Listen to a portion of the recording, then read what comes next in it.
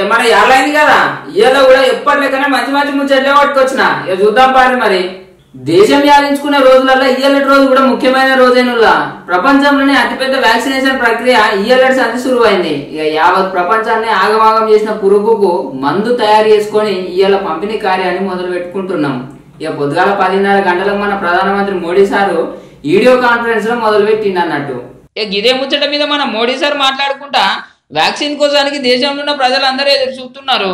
ఈ మందును తయారు చేసినందుకు కష్టపడ్డ శాస్త్రవేత్తలకు వివిధ సంస్థల పెద్ద సార్లు అందరికీ అభినందనలు చెప్పిండు.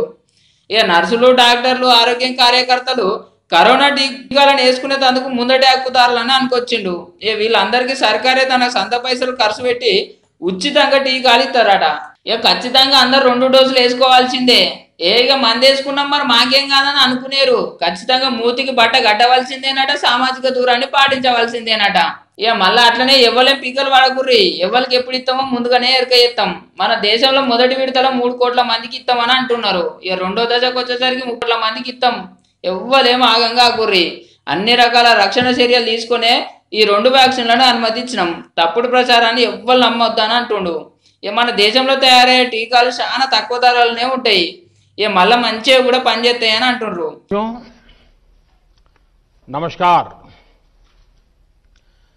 आज के दिन का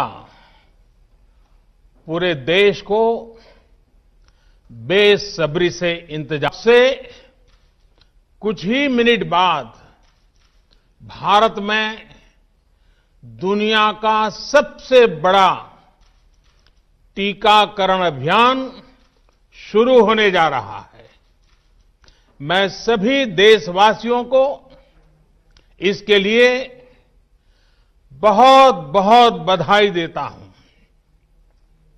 आज वो वैज्ञानिक, वैक्सीन रिसर्च से जुड़े अनेकों लोग विशेष रूप से प्रशंसा के हकदार हैं, जो बीत